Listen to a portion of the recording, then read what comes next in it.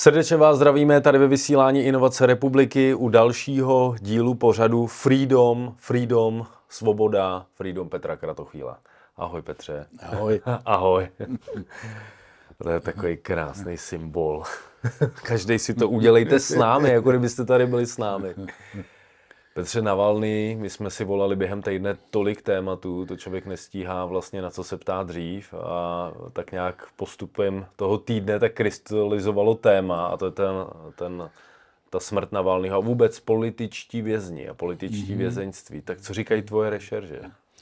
No, já budu tentokrát jako eh, já takhle, já to řeknu takhle v těch režimech autokratických a v těch eh, totalitních člověk předpokládá, že tam lidi zavírají za politické názory. A že je zabíjejí. Vůbec nebudu mluvit o Číně, o, o o to jsme tady o, točili, že? O vrazích, co tam s lidma. O, o popravách veřejných a o, o, o malých dětech Ujgurů, strašné věci. Takže tam se člověk nediví, tam předpokládá, že, že se tam dějou takovéhle věci. A takže když jsem se dozvěděl, že Navalny umřel, tak brzo po tom hovoru Putina s Karlsnem, tak musím říct, že mi to přijde takový úplně divný, jako si říkám, co z toho jako politicky má, co z toho ten Putin může vytěžit. Jako a tak zase si říkám, sakra, teď to je moje domněnka, není v tom zase třeba CIA, nebo nechtějí zase, to jsou hry všecko. A člověk, to nejsou konspirační teorie, to člověk prostě hledá, si říká, proč? Teď jaký bych, proč teď zrovna? Ten jo? moment, kdy byl ten moment, jo, vlastně když je, najednou v západním je, mainstreamu, ano, že obrovská sledovanost videa. Ano, ano, hmm. jo. Říkáš, proč? Proč teď? Vlastně nedává to, smysl. Nedává že? to smysl. Ale to nechci nikomu vnucovat. Co, no, to je prostě to moje domněnka. Hmm. To nejsou žádné teorie, ale je to divný. No a o to přijdu, samozřejmě to je tragédie, samozřejmě, že musel umřít. V takových podmínkách se asi dlouho nedá žít.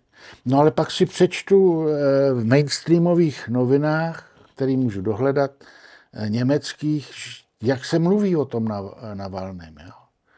Jakože vlastně, že to je fašista, že, že byl takový jako makový a takový, a, a že říkám, to vůbec jsem nevěděl. Jako, a to, to je mainstream e, německých novin eh, před rokem. Jo?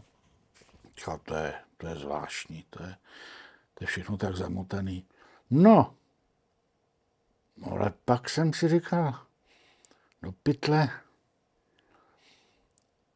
Zelenský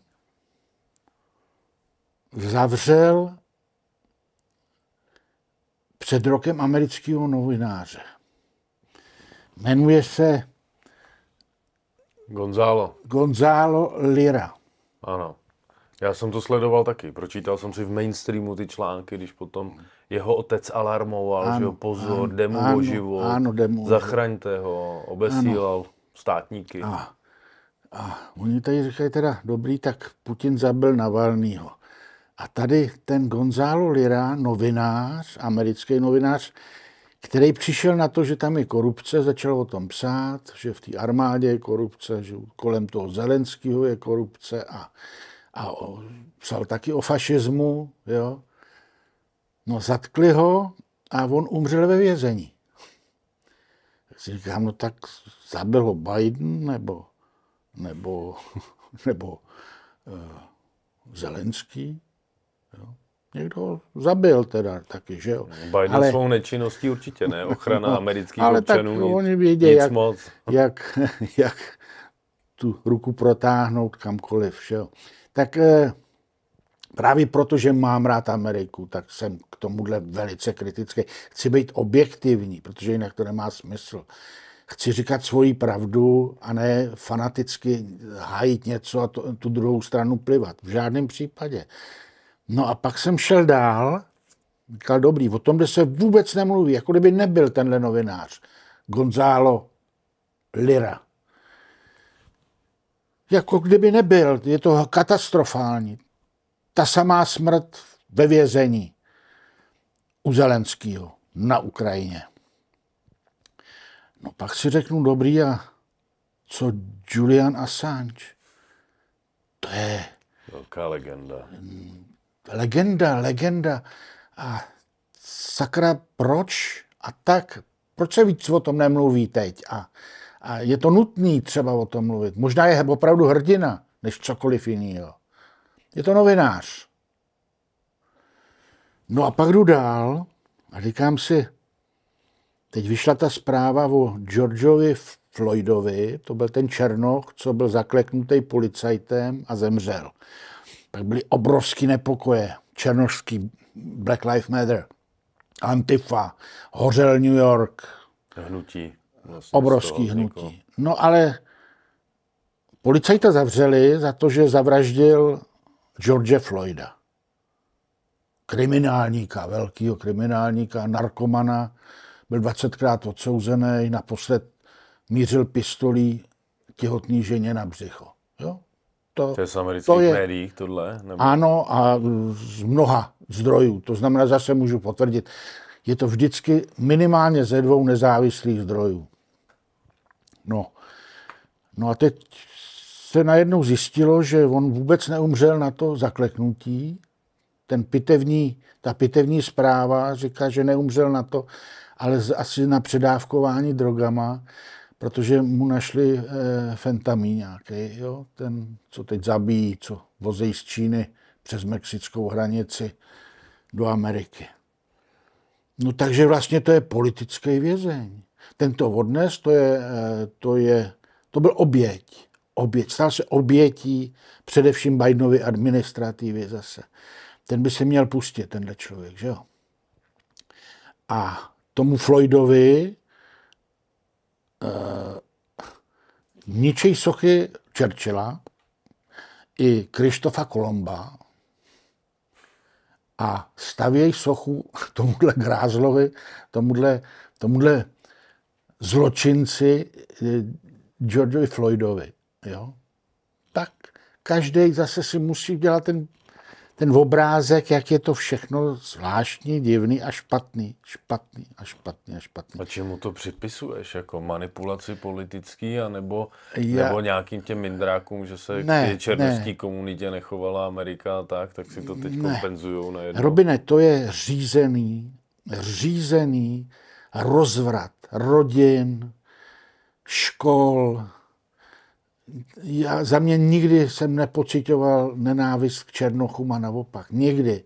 Eh, Obama byl výsledek toho, jako že se stal prezidentem, že jo? nejhorší prezident mezi náma. Ale ne je to záměrně vedený. Je to záměrně vedený ublížit Americe. Ty elity nemají rádi Ameriku. Oni se zaprodali, oni mají plán, oni mají plán globální vládnutí. Eh, řeknu jméno Bloomberg, kandidát na prezidenta, jeden z nejbohatších lidí na světě, eh, vlastní hlavně média, že jo, tak ten říká třeba o Xi Jinpingovi, že to žádný diktátor není. No, tak, tak zase si můžou všichni udělat představu, co to je asi za člověka. Jo? Tak to asi biznisově funguje mezi nima. Určitě, říkal, určitě. A, a, a Kdyby se je... to nehodilo, tak zase říká něco jiného. jo. A takhle to je jeden vedle druhého. Zuckerberg a tak dál a tak dál. Výjimka je Elon Musk. No, a teď jdu dál a říkám si, dobrý, to je zvláštní tohle. Ale Kanada, demokratická Kanada, nádherná Kanada, Trudeau zavřel kamionáky, který stávkovali. Míru milovně stávkovali. On je zavřel. Po roce prohrál soud, ty kamionáci to vyhráli, že Trudo jednal protizákonně a protiústavně. To je černý na bílým, zase to všichni můžou najít, když budou chtít. Minimálně ve dvou zdrojích to najdou. No takže v Kanadě jsou političtí vězni od fašisty Trudeau. Jo? Hmm. Vidíš, že to je jako přes kopírák, že se to děje všude v demokratických, svobodných zemích. Jo? No ono i v České republice ty kluci, co pořvávali na vládu a nevím, nějaký, hmm. já to nikdy neviděl, nějaký, hmm. jestli to byly videa nebo vzkazy hmm. s výhruškama hmm. a ne, že by se mi to líbilo, ne, že bych s tím souhlasil, i když si myslím, že pojmenovat ty věci tvrdě je na čase, ale přeci jenom kolik, pět let naproti tomu tady znásilnění a má člověk podmínku tam nějak. No je to absurdní, je to absurdní, musíme být hrozně na pozoru. A když se to stane někomu jinému, tak se to stane i tobě zítra. Nestraš. Ale určitě, nebo mě, nebo Mírovi, nebo jo, každému. Lidi si to musí uvědomit, že jde o všechny a o všechno. My nežijeme, teď mluvím o demokratických zemích, není demokracie. V západních zemích už není demokracie. Je to postdemokracie a ta s demokracií nemá nic společného. Nežijeme v právních státech, já se nebavím o, o České republice, se mluvím celkově. Ať je to Austrálie, ať je to Kanada, ať je to celá Evropa. Je velký problém. Ten se vyřeší v roce 24-25. Budeme vědět, jestli, jestli to dokážeme zlomit revolucí, tak jako byla francouzská revoluce, protože nic jiného nepomůže. Nepomůže. Jo?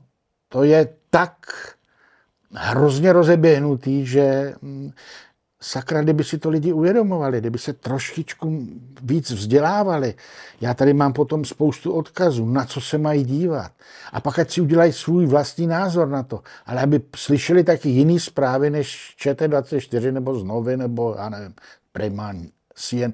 Mimochodem CNN třeba ztratila 80% svých diváků. To je jenom politická záležitost. V Americe. V Americe. V Americe. Hmm. Jo? A tak dál, a tak dál.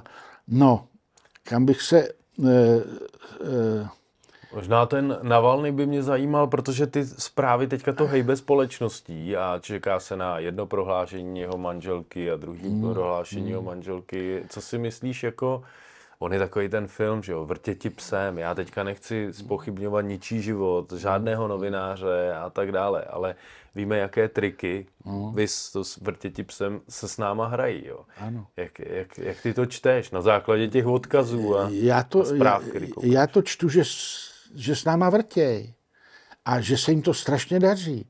Oni chtějí všechny rozhádat, všechny. Rozdělit tu společnost. To je cílená vytvořit cílený chaos a cílenou globální krach ekonomiky, aby mohli nastolit zkrátka jiný řád, jiný pravidla. Takhle to čtu a jsem o tom absolutně dneska přesvědčený. Je to, proto říkám, že nic jiného než revoluce nepomůže. Ano, samozřejmě, ale to je horší, kdyby byla válka, že jestli ten, ten, ten infantilní prezident americký Biden eh, mu to za to bude stát tak a, a jeho elitám, aby vyprovokovali válku, tak eh, i to, eh, i to je jo?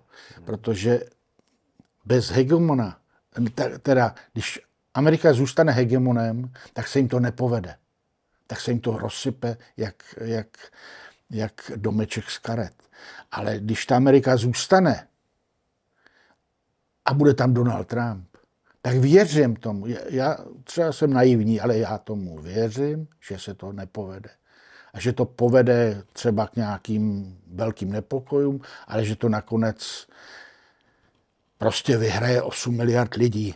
A to jedno procento, že se nám podaří, je prostě nebudu říkat pod gilotínu, ale prostě no to určitě ne. Princ, principy francouzské revoluce, no, princip, ale ne to násilí, ano, jako to určitě tak, neschvaluje nikdo no, z nás. Eh, no, ale bez toho to nepůjde. Bez toho to nepůjde. Bohužel.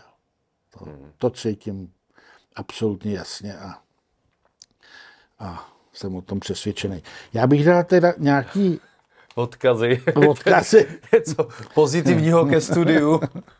Dívejte se na bývalý Ach, Twitter, jo. teď se to jmenuje X, na Ilona Maska. Jack Posobiak, najděte si jeho stránky, na tom Xu je taky samozřejmě. Glenn Beck, Steve Bannon, úžasný člověk, ten tam je taky. Julian Assange, tam taky mluví. A ještě bych chtěl říct jednu věc k těm politickým vězňům.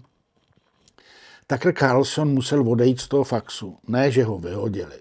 On dostal na výběr. On totiž dostal do ruky utajovaný videa eh, z January 6, když eh, byl eh, obsazený protestujícími kapitol v lednu 6.